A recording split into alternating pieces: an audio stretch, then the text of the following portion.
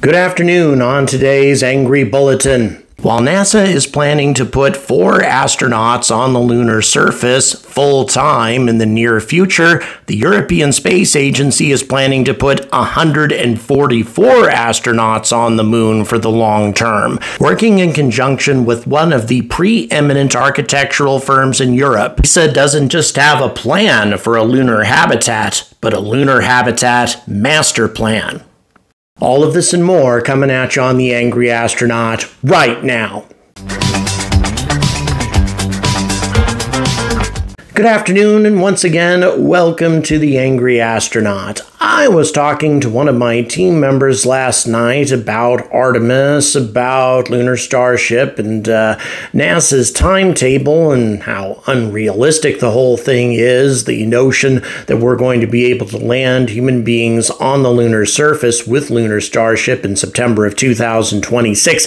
I'm not going to get into all the details as to why I feel that that's impossible. I've got some links at the end of this video if you're interested in checking that out. But one of the biggest problems that we have with Artemis, when I say we, of course, I've got a team of folks here uh, at the Angry Astronaut who help me with my content and contribute a lot when it comes to knowledge, when it comes to ideas. And one of the biggest issues that Artemis has is that no clear long term objective has actually been established. Sure, we talk about going to the moon to stay, but what does that actually mean? What does that actually look like? How many people do we want to have on the moon to stay? What are these people going to be doing? Scientific research? Mining? or establishing a new place for the human race to live? I mean, what is the long term objective? NASA really doesn't lay that out very well. Instead, they talk about Artemis 3 and a couple astronauts. and They talk about Artemis 4, Artemis 5, and perhaps setting up a small scale habitat, but they don't really get into what comes next. We know a lot about what kind of hardware we're going to be using to get there, but not what we intend to do once we get there. Now, ESA, on the other hand, has a pretty clear objective in mind, at least in my opinion. And they've been rolling out a number of moon habitat master plans over the last several years. What does that mean? Well, it is the long term objective, what ESA would like to accomplish on the moon eventually, what the end game is for Artemis and our overall initiative to get to the moon to stay. It's pretty detailed and it's pretty damn ambitious. And of course, I really like ambitious. So, how ambitious are we talking? Well, how about 144 astronauts on the moon full time? Not just four. And this is not something that is just a vague promise, something that they say they would like to do eventually. Not sure exactly how it's going to be accomplished, but yeah, we would like to have a lunar town with 144 astronauts. Actually, some very specific plans have been laid out with the help of some very, very good architectural firms in Europe. And one of the most impressive is Hassell's recent lunar habitat master plan. And it involves inflatable habitats. That's something I've always been very fond of. 3D printed regolith and a lot of other things that will allow astronauts to live on the moon safely and comfortably for the long term. When people criticize Elon Musk's plans to live long term on Mars, few people really consider just how much more difficult it's going to be to live on the moon. Yeah, Mars doesn't have much of an atmosphere, but it has an atmosphere, and that makes a big difference when we're talking about temperature, when we're talking about protection from radiation. There are so many things that Mars's incredibly thin atmosphere does for the surface of that planet that makes it a lot more hospitable than the surface of our natural satellite.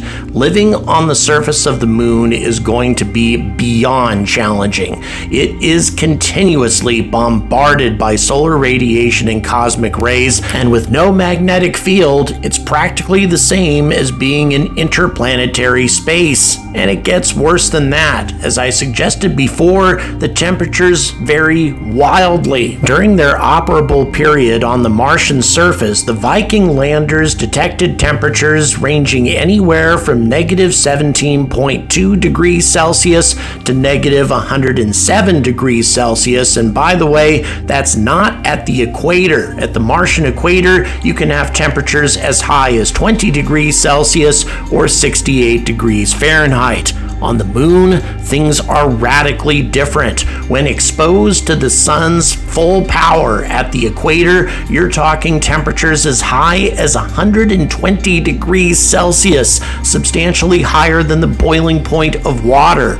But at the lunar South Pole, things can get insanely cold. There are regions of the lunar South Pole that have never seen the sun with temperatures that have been measured as low as minus 250 degrees Celsius, making it actually the coldest temperature that has ever been measured anywhere in the solar system. Now, think about that for a moment. Minus 250 degrees Celsius as opposed to minus 107 degrees Celsius on Mars. We are going to be facing some enormous challenges trying to survive on the moon. And the best way to do that is to shelter ourselves from this environment as much as possible. Insulate ourselves with a nice layer of lunar regolith, preferably 3D printed regolith. But it's more complicated than just taking a bunch of regolith and tossing it on top of the habitat, because lunar regolith is very abrasive and is also statically charged. It could actually be dangerous to the structural integrity of a lunar base. So the way that Hassell plans to do this is to use a interlocking system of building blocks made out of lunar regolith concrete, 3D printed concrete that is reinforced by inflatable girders.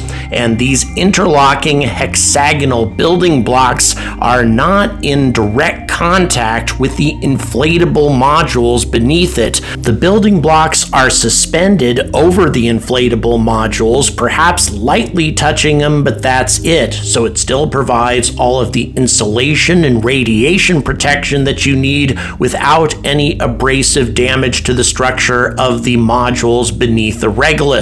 A very interesting idea. And by the way, somebody might ask, well, why not just construct the whole base out of 3D printed regolith instead of using inflatable habitats imported from Earth?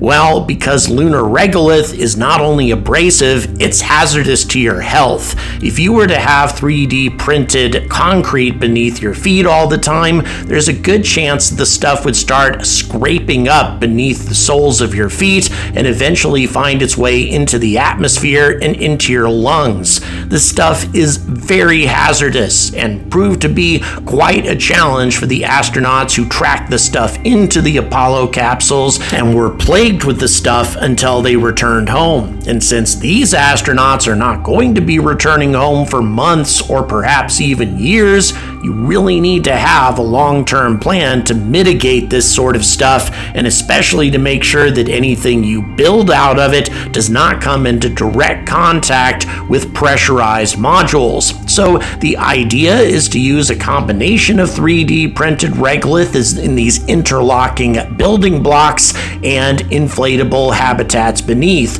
Hassell have been big fans of inflatable habitats for a very long time, having proposed using them for their Martian habitat as well a few years ago. Another advantage is the fact that you can have a pressurized module insulated from the 3D printed structure, providing essentially a double walled enclosure for the astronauts, protecting them from the environment outside, meaning that you have two layers of protection against the pressure differential against the radiation, and against the temperature as opposed to just one. And as we have seen with the inflatable habitats that Sierra Space has been introducing lately, inflatable modules are both lightweight and compact, and very large habitats can be fit inside small conventional rockets. For example, the Vulcan Centaur and its 5 meter fairing is more than large enough to accommodate the standard Sierra Space Life module, which is 300 cubic meters in size, and Sierra Space also has a larger version that's over 1400 cubic meters worth of pressurized volume, and that can fit inside the 7 meter fairing of New Glenn and could definitely fit inside the fairing of Starship.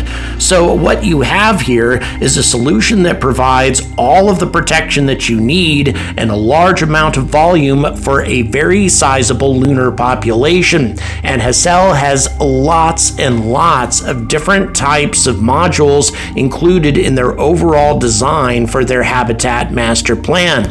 The large inflatable modules allow for sizable living spaces. You don't have to be in these small claustrophobic little modules like you are on the ISS. Instead, living spaces can be spacious. Even the individual quarters can be relatively spacious compared to what space station astronauts have for themselves right now, which is little more than a tiny little coffin when it comes right down to it.